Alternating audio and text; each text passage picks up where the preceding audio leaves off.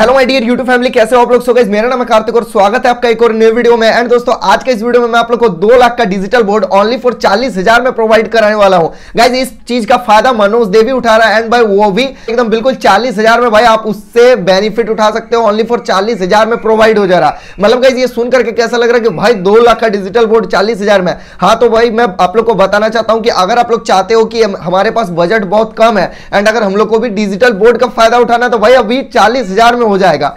सोचिए बड़े बड़े यूट्यूबर्स जो यूज़ कर रहे हैं अभी, जो कि डिजिटल बोर्ड जैसे कि मनोज दे, जुन्नू की टैग और भी टैग चैंपियन सपोर्ट या हमारा महात्मा जी टेक्निकल है, वो लोग जितने भी लोग दो लाख का जो डिजिटल बोर्ड यूज़ कर रहे हैं, वो गाइज़ कम से कम दो लाख का सेटअप है। लेकिन गाइज़ मैं आपको वैसा ही सेटअप ओनली फॉर मात्र चालीस हज़ार में बताऊँगा, कैसे क्या करना है, चलिए मैं आप लोग को बताता हूँ। तो गाइज़ वीडियो को शुरू करने से पहले मैं आप लोग को कहना चाहता हूँ कि गाइज़ मेरा इंस्टाग्राम आईडी का नाम है Kartik Sen twenty five and guys यहाँ पर आप लोग देख सकते हो, भाई ओनली फॉर कुछ ही फॉलोवर्स बाकी है, तेरह हज़ार हो जाएँगे तो यार जाना डिस्क्रिप्शन में लिंक मिल जाएगा। एंड भाई, अपने भाई को फॉलो कर सकते हो। चलिए इस वीडियो को शुरू करते हैं। अब आप लोग को मैं बताता हूँ कि कैसे आप लोग दो लाख का डिजिटल बोर्ड को ओनली फॉर चालीस में प्रोवाइड कर सकते हो, जो कि गाइज़ मनोज देवी इस चीज़ का फ़ायदा ऑलरेडी उठा चुका है एंड अभी भी उठा रहा है। तो भाई, आप लोग भी करो ना।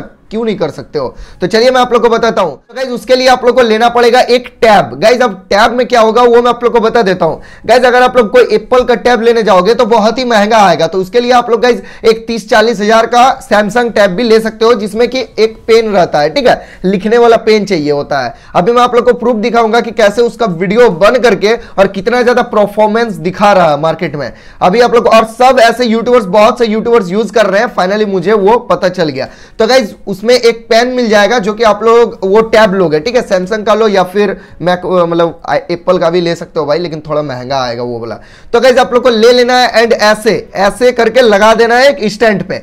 फ्रंट में आपका ये कैमरा रहेगा जो कि मेरा अभी वीडियो रिकॉर्ड कर रहा है, ठीक है? फ्रंट में ऐसा एक मोबाइल रहेगा या फिर कैमरा रहेगा जो कि 16 इज़ टू नाइन का रेशियो में वीडियो शूट करेगा। एंड यहाँ पर भी गाइज़ आपको 16 इज़ टू नाइन का रेशियो में मोबाइल को रख देना है। उसके बाद क्या करना है? वो जो टैब आता है, टैब में देखना नोटबुक या फिर नोटपैड कुछ भी आता है, जो कि कलम से आप लोग समझा सकते हो, लिख सकते हो, कुछ भी चीज़ का रिकॉर्डिंग अगर आप लोग को दिखाना है तो ऐसे करके दिखा सकते हो। उसके बाद क्या होगा कि जैसे यहाँ पर रिकॉर्डिंग हो जाएगा एंड उसके बाद मैं आप लोग को आगे दिखाता हूँ कि कैसा आप लोग को एडिट करना है, कैसा उसको एडिट करके निकालना है ताकि एकदम डिजिटल बोर्ड जैसा लगे। तो गाइज़ मैं यहाँ पर सिंपल से समझाता हूँ कि कैसे क्या करना है आप लोग को, ठीक है?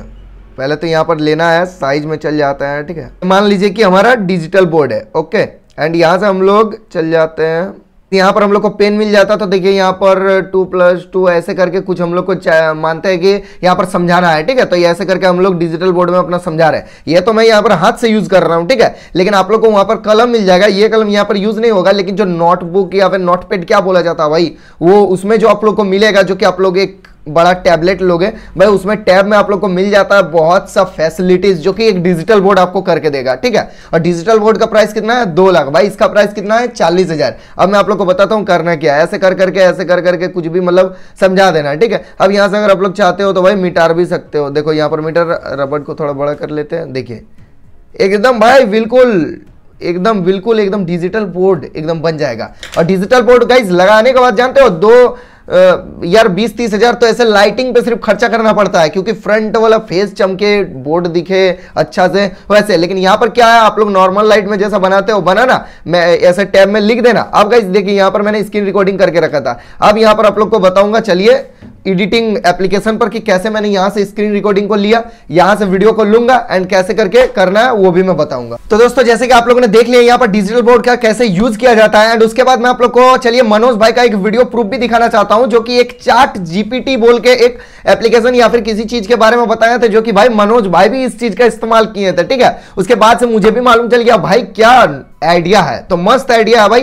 एंड उसके बाद मैं, चलिए अब आप लोगों को बताता हूँ कि आपको एडिट कैसे करना है। तो भाई आपको करना है सिंपली से, जो भी आपका एडिटिंग एप्लीकेशन है, उसमें पहले आपको जो डिजिटल बोर्ड में होता है ना तो वो तो साथ ही साथ रिकॉर्डिंग हो जाता है फेस भी और डिजिटल बोर्ड का स्क्रीन भी। लेकिन यहाँ पर कैसे आप लोग को करना क्या है, जैसे कि ये वाला जो स्क्रीन रिकॉर्डिंग भाई स्क्रीन रिकॉर्डिंग ओपन कर लेना। पहले आप लोग को बता देता हूँ, अगर आप लोग टैब में वैसा वीडियो बनाओगे तो टैब में स्क्रीन रिकॉर्डिंग ऑन रखना। एंड जो स्क्रीन रिकॉर्डिंग हो जाएगा तो उस चीज़ को आप लोग को लेना है। एंड पहले भाई एडिटिंग पे पहले उसी का लेयर को बैठाना है, जो कि ये टैब वाला स्क्रीन रिकॉर्डिंग है। उस लेयर को बैठा देना एंड उसके बाद जो मैं ये बोल रहा हूँ, इस स्क्रीन रिकॉर्डिंग का गोल या फिर कोई चरकुट्टा करके छोटा सा मतलब ये जो मेरा फेस कैम वाला वीडियो है, उसको साइड तरफ़ लगवा देना है एंड भाई चलने देना है वीडियो बस ऐसा करके मस्त सा वीडियो बन जाएगा। एंड भाई आप लोग को वीडियो कैसा लगा? दो लाख का जो खर्चा करके ऐसा बनता है, उससे भी बेटर वीडियो आपका इसमें बन जाएगा भाई, चालीस हज़ार का खर्चा में। तो मैं उम्मीद करूँगा कि वीडियो आप लोग को अच्छा लगा था वीडियो अच्छा लगा तो वीडियो को लाइक कीजिएगा। चैनल पर नहीं आया तो चैनल को सब्सक्राइब कर लीजिएगा। चलिए दोस्तों, मिलते हैं नेक्स्ट वीडियो तब तक लीजिए हिंद, वंदे मातरम।